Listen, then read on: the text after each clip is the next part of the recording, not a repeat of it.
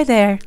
In chapter 4, we discussed linear regression with a single regressor where the intercept coefficient beta naught and the slope coefficient beta 1 are unknown. And we explained the OLS estimator of the intercept coefficient, beta naught hat, and the OLS estimator of the slope coefficient, beta 1 hat. And so the OLS predicted value is yi. These estimators are calculated using a random sample. They take different values from one sample to other. They are random variables with a probability distribution that is called sampling distribution. Their sampling distributions summarize the probability of these different values. At this point, I highly recommend you to watch Chapter 3, Part 3 video, where we discussed the sampling distribution of the sample mean and explained that the sampling distribution was approximately normal because of the central limit theorem. In this video, we will talk about large sample distributions of beta naught hat and beta 1 hat. Under the least squares assumptions, in large samples, OLS estimators beta naught hat and beta 1 hat have a jointly normal sampling distributions. The large sample normal distribution of beta 1 hat is and the large sample normal distribution of beta naught hat is under the least squares assumptions, beta 1 hat is an unbiased estimator of beta 1. Under the least squares assumptions, beta naught hat is an unbiased estimator of beta naught. And the variance of this distribution is given by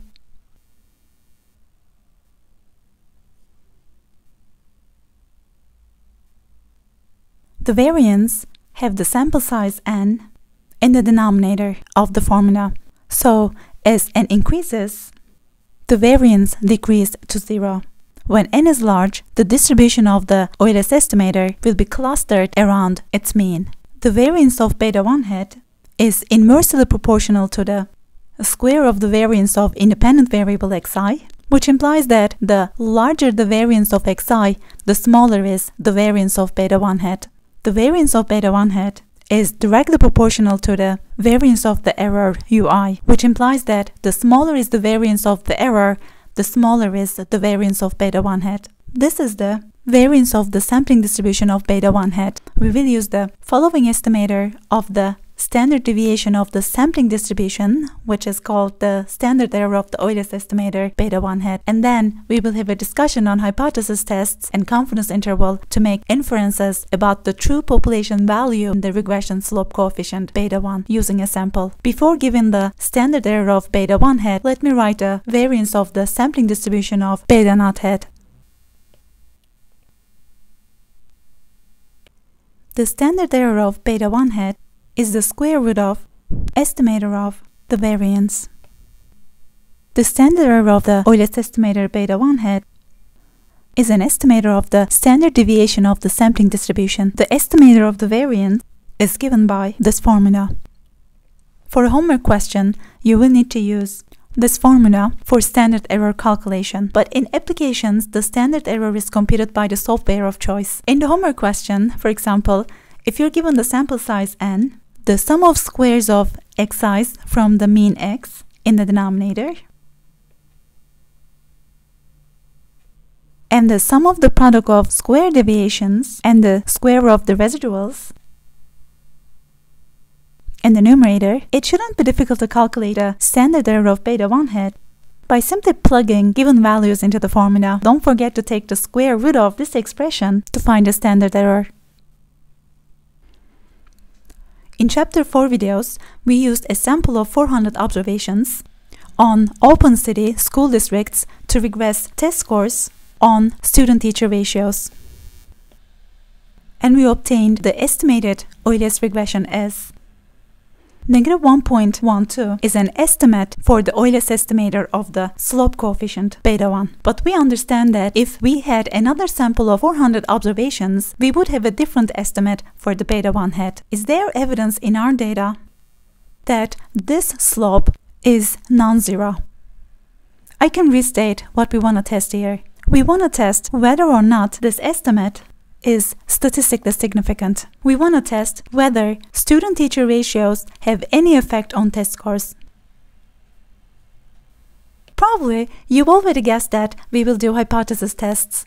The null hypothesis would consider the slope coefficient to be zero. The null hypothesis assumes that the student-teacher ratios don't have any effect on test scores, or there is no significant effect of student-teacher ratios on test scores. The alternative hypothesis would be the slope coefficient to be non-zero. The alternative hypothesis assumes that the student-teacher ratios have a significant effect on the test scores. If you haven't watched chapter 3 videos, feel free to stop this video here to watch them first, since hypothesis tests and confidence interval were explained in details where the population characteristic was the population mean mu. Differently, here we have the population slope coefficient beta 1, which takes on a specific value, 0. That is, the hypothesized value. To test the null hypothesis, we follow the same steps as for the population mean in chapter 3 videos. We will find the t-statistic and then the p-value to decide whether to reject or fail to reject a null hypothesis at a pre-specified significance level.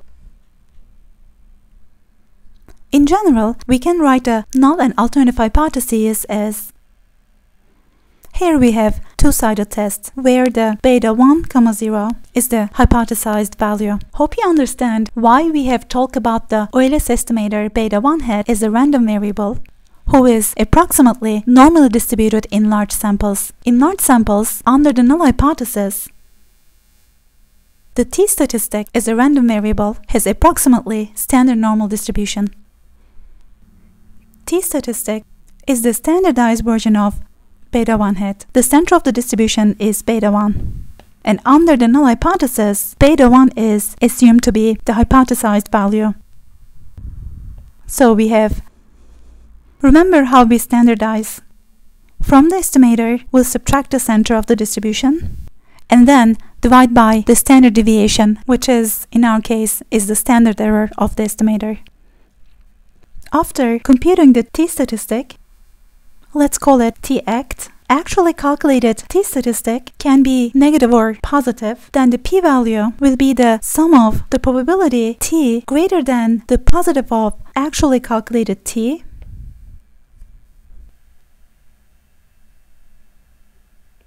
and the probability that t is less than the negative of the actually calculated t. Here's how we can write this probability mathematically. Solution to this inequality involving absolute value is either t is greater than what you see on the right hand side or t is less than the negative of the right hand side number which is this probability is the area in the right tail.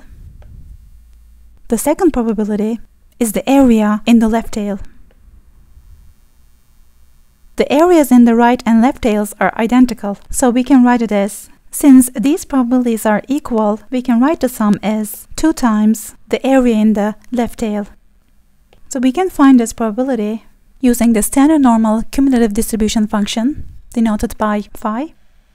Therefore, we'll have Let's go back to our example and calculate t-statistic.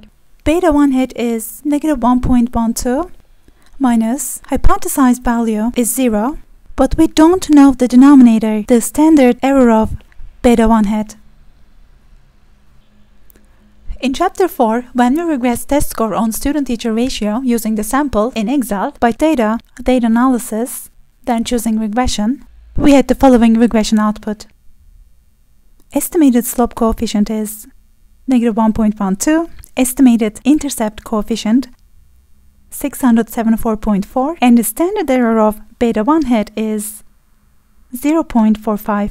8.957 is the standard error of beta naught hat. Let's include the standard errors in our regression equation. Here's the common way of reporting a single regression equation. And the standard error of beta 1 hat is 0.45 if we round, and the standard error of beta 1 hat is 8.96 if we round. The R square and standard error of the regression 17.2.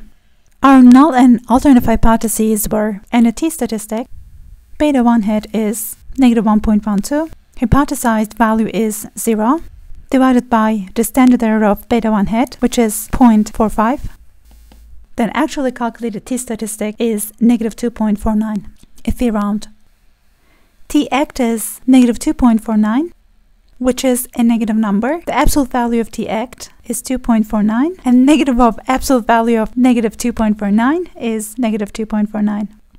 The p-value is the sum of areas in the right and left tails.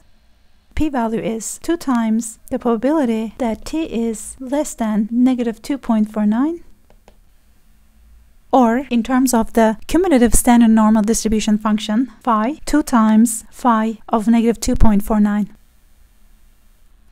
phi of negative 2.49 is the area under the cumulative standard normal distribution function to the left of negative 2.49. In previous videos, I used an Excel function to find the area. This time, let's use a table.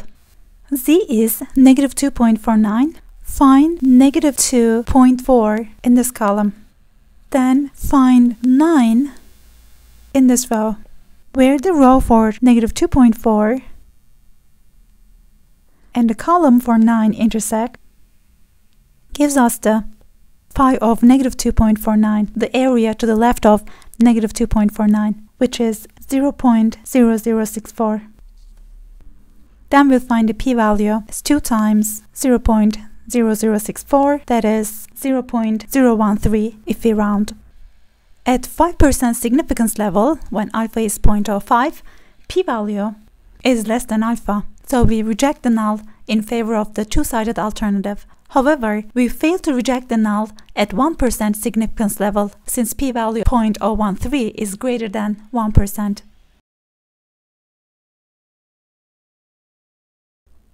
Assume that we think smaller classes provide higher test scores. By smaller classes, we mean less students per teacher, in other words, smaller student-teacher ratio. Here, we want to test whether student-teacher ratio has negative effect on test score. Then we will try to find evidence to support that beta 1 is less than 0. So we will test the null hypothesis of beta 1 equals 0 against beta 1 is negative. Obviously, we will have the same calculated test statistic, but the p-value will be different since we have one-sided alternative hypothesis. For our one-sided alternative hypothesis, the p-value will be the area in the left tail, area to the left of negative 2.49. By using the table, we found the area in the left tail as 0.0064. We could find this area by using the following Excel function as well. At 5% significance level, since the p-value less than 5%, we reject the null hypothesis.